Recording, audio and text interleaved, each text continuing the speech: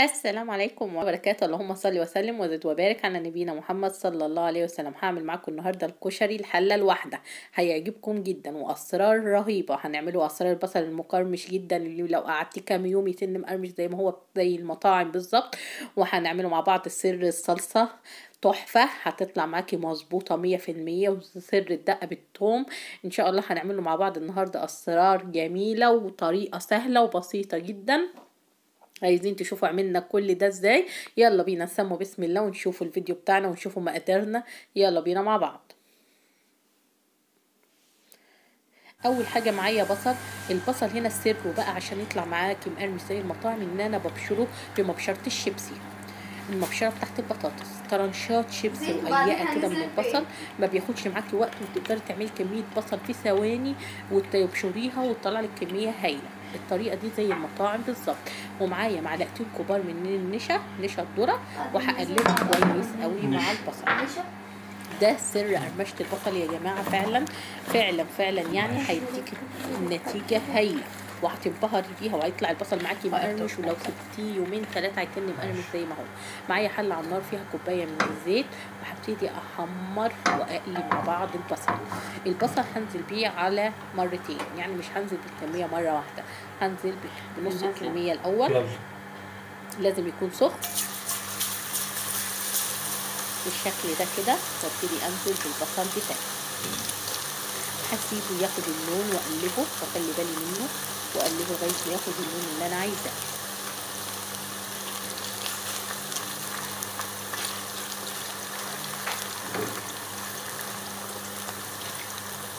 بالشكل كده مع بعض دلوقتي البصل خد اللون بتاعي وهطلعه على مناديل المطبخ وهفردهم بعيد عن بعض عشان ما يطروش ويقرمشوا. وهيتن مقرمش معاك صدقيني هتعملي أحلى بصل وزي المطاعم وناعم ورقيق ومقرمش جدا. لازم زي ما إحنا شايفين كده نفردوه بالطريقة دي. هسيبه كده وأعمل الكمية التانية اللي أنا محضرها معاكم. ودي آخر كمية أول ما تطلع. نرجع نكمل مع بعض وصفتنا. خلصت البصل بتاعي ومعايا الزيت بتاع البصل هاخد منه كبشتين في طاسة على جنب وهقول لكم هنعمله بيهم إيه كمان شوية. تمام؟ كبشتين بالشكل ده.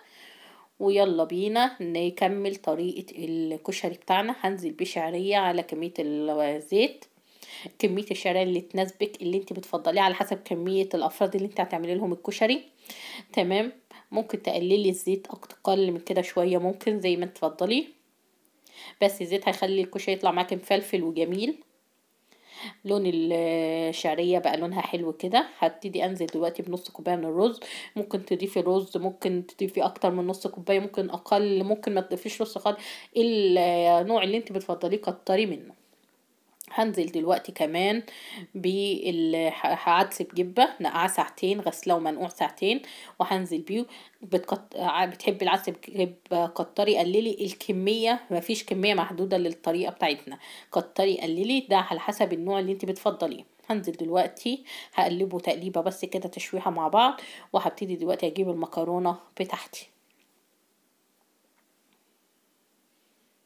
التقليبة دي مهمة بتخليه مفلفل وجميل وما يعجنش منك. هنزل بالمكرونة العقل أي نوع مكرونة وأي كمية برضو اللي انت بتفضليها واخدها تشويحة بسيطة خالص مش هتغير أي لون. المهم إن هي بس إيه تتقلب كويس جدا عشان تفلفل معايا. ومعايا كمان المكرونة الأسباجيتي بكسرها قطع. تمام وهنزل بيها كده فوق المكرونات والعدس والرز بالشكل ده. واخدها تقليبة صغيرة خالص.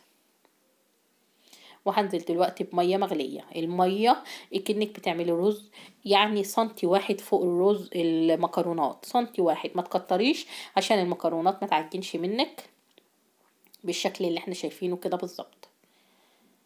مش هتاخد وقت خالص وأول ما هتشرب المية بتاعتها هنهدي هننزل بالملح. رشة من الكمون خفيفة رشة من الفلفل الأسمر خفيفة وأقلب كله في بعضه وأسيبه يغلي كويس أو أول ما يشرب. المية بتاعته نرجع نشوفه مش هياخد وقت معانا خالص وطريقة بمنتهى السهولة.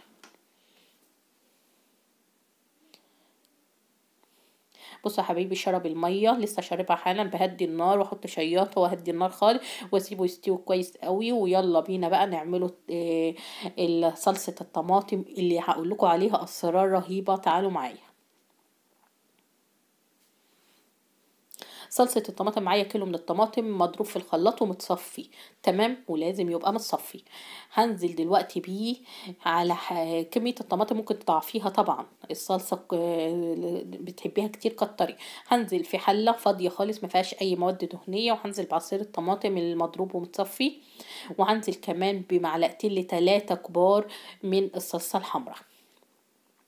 الصلصة حمراء عشان تخلي صلصة الطماطم تقيلة ولونها حلو وتبقى جميلة معايا وقوامها جامد. مش عايزة مش مشكلة ما تقدري تستغنى عن الإضافة دي. هسيب الطماطم تتسبك كويس جدا وتستوي كويس جدا هتاخد حوالي 30 دقيقة ونرجع على طول. بصوا يا حبايبي استوت كويس جدا واتسبكت. تعالوا بقى نعملوا لها تشة سر رهيب. هنا الكبشتين من الزيت اللي خدناهم من البصل وهنزل عليهم بمعلقة من الثوم المفروم. عرفنا دلوقتي كبشتين الزيت اللي خدناهم من البصل هما إيه. هحمر التومة بتاعتي معلقة توم مفرومة بالشكل ده وهقلبها لغاية ما تاخد لون جميل معايا. وهنزل عليها دلوقتي بمعلقة من الكزبرة الناشفة ونص معلقة من الفلفل الأسمر وهقلبهم مع بعض كده لغاية ما ريحتهم تطلع كمان والتومة تديني اللون جميل ذهبي حلو كده. ويلا على الصلصة على طول ونتشوا فيها التشة الجميلة قوي دي. على الصلصة هي وهي على النار وأنزل وأتش التشة بتاعتي الريحة رهيبة كأنك في محل كشري والله ريحتها رهيبة. السر التاني بتاعنا إن إحنا هننزل بكوباية مية مغلية دلوقتي كمان فوقها. بعد ما اتسبكت بنزل بكوبايه مية مغلية وهنزل بمعلقة خل. خل أبيض عادي خالص. بصوا ريحة تحفة هي دي الصلصة بتاعت المحلات بجد هتعجبكم قوي هسيبها دقيقة واحدة على النار تاخد غلوة وهضيف الملح كمان ما تنسوش الملح. وتعالوا معايا بقى نشوفوا هنكمل إزاي. أنا دلوقتي هضيف الملح أهوت. الملح اللي انت بتفضليه طبعا الملح بتاعك وهسيبها دقيقة واحدة على النار واطفي عليها وكده التسبيكة عندي قوامها وريحتها مثالي. دلوقتي هنعمل دقه الخل والثوم معايا كوباية من المية على النار طاسة على النار هحط كوباية مية وهحط حوالي معلقتين من الثوم المفروم. معلقة كبيرة خالص دي معلقتين يعني تمام من الثوم المفروم وهحطها على النار وهبتدي أضيف الإضافات بتاعتي. هضيف دلوقتي فلفل أسمر وكزبرة ناشفة وشطة كزبرة ناشفة ورشة من الكمون كمان وكوباية خل قدام كوباية المية كوباية خل بالشكل ده. وهسيبها على النار دقيقتين تاخد غلوة كده وريحه التوم وكل حاجة تشعب كده وافضيها واسيبها تهدى. وأول ما تهدى نروح بقى نقدم الكشري بتاعنا ونشوفه هيكون عامل إزاي هنسيبها تغلي بس من دقيقتين لثلاث دقايق بس ونرجع على طول. وما تنسوش تضيفوا الملح وهسيبها تهدى خالص وافضيها في البولة ويلا بينا نقدم أحلى طبق كشري مصري سريع وسريع في المجهود وسريع في الوقت وكل حاجة يلا بينا نقدمه مع بعض ونشوف شكله هيكون عامل إزاي.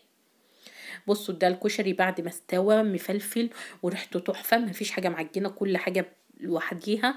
ومعايا هنا البصل بتاعي مقرمش رغم إن إحنا ابتدينا بيه أول حاجة حمرناه. ولو سبتيه لتاني يوم هيتن محمر زي ما هو ومقرمش زي ما هو وهيبقى تحفة. ويلا بينا نغرف. الريحة رهيبة. الريحة بجد جميلة جدا ومن أهم الأسرار بتاعته هو البصل إن هو إزاي تن مقرمش معاكي وأكبر وأكبر سر ليه هي صلصة الطماطم بتاعته اللي بتشد كل الناس. الصلصة شايفين شكلها وقوامها ولونها. بجد جربوا طريقة الصلصة هتنبهروا بيها كأنك في محل كشري بالظبط. ودقة الخل والثوم ما تنسوهاش ولو النهاردة الفيديو عجبكم ما تنسونيش ب like و share و subscribe وتفعلوا الجرس. أشوفكم على خير حبايبي. السلام عليكم ورحمة الله وبركاته.